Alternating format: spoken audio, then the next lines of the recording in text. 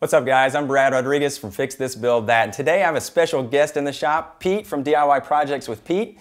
We made two projects. Pete, tell me about the one that we put on your channel today. Yeah, definitely. So we made this accent lamp and it has a concrete base, walnut side, and then this Edison bulb to kind of warm things up. I think it turned out really nice. Absolutely, and go, you can check that project out on Pete's channel. There's a link down below in the description. Uh, so I helped him out with the walnut top and then Pete helped me out with the concrete tops for these. I made two outdoor side tables with cedar bases. I made both of these side tables out of four cedar 2x4s, one bag of concrete, and only two power tools. So check it out, it's a great project. Let's see how we did it. For this project, I wanted to show what you can do with a basic tool set. I'll only be using two power tools, a cordless circular saw and a hammer drill, both from Ridgid's 18 volt lineup. I'll also use a small variety of basic tools like clamps, a carpenter's square, and a pocket hole jig.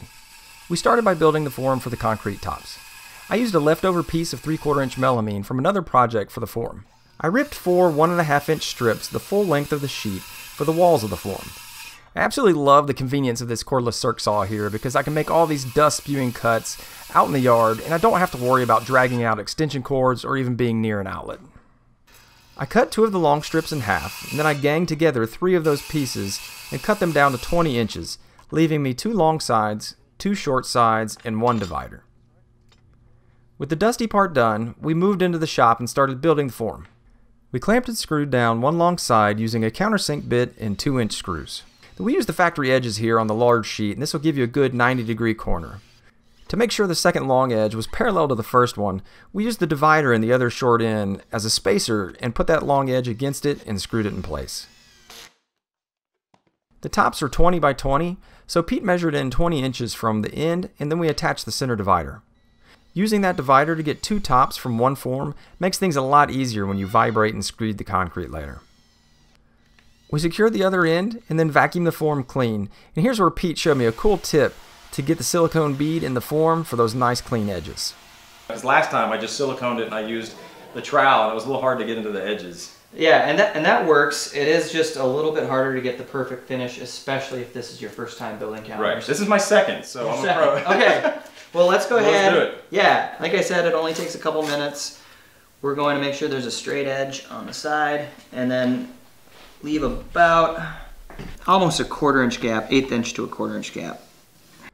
Pete taped around the whole form, leaving about a quarter inch gap for the caulk. Then we applied the caulk Smooth it out with a wet finger, and then remove the tape. You want to remove this right away and don't let it set up at all. Going back over the caulk one more time with a wet finger smooths out any little lips left from the tape. This was a cool little trick to make sure that the caulk went exactly where I wanted it and didn't get all over the sides when I was smoothing it out like I did last time. While the caulk was drying, we went back outside to cut the parts for the base. I'm using cedar 2x4s here from a local building supply store for the base, and you don't need a miter saw to get decent crosscuts on these boards. Just clamp a carpenter's square to your board and use it to guide you for that 90 degree cut. Each base is made from just 11 boards in three different sizes, and these all come out of two 2x4s. After cutting the first of each similar size board, we just laid that board back on top of the remaining 2x4 and butted it up against the end. Then I used a spacer to set where my carpenter's square needed to go, the spacer is just the width between the outside edge of my circular saw and the outside edge of the circular saw blade. This makes short work of cutting down all the pieces. Just make sure you have proper support or a helping hand so the boards don't bind up and drop off or cause tear out at the end of the cuts.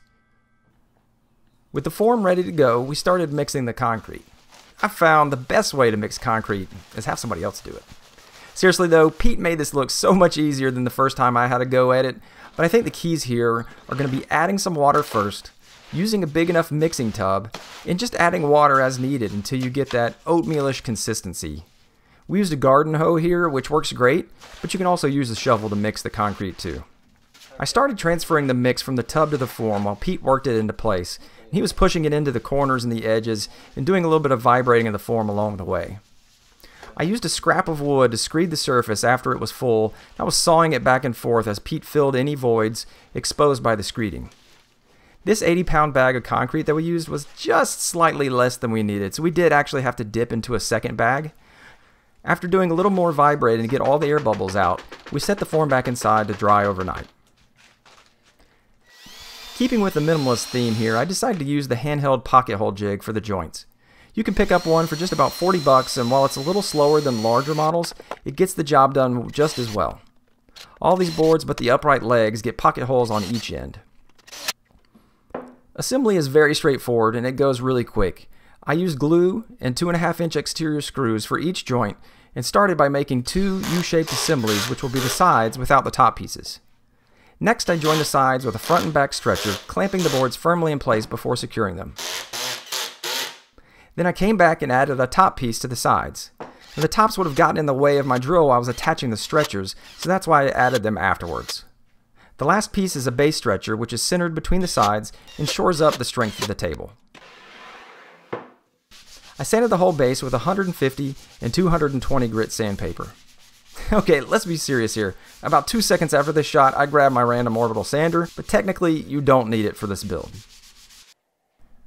After sanding, I applied four coats of an oil-based outdoor spar urethane.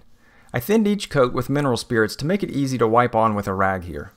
I just love how this brings out the depth and the character of the cedar. An oil-based finish is much better than a water-based in my opinion to bring out that color.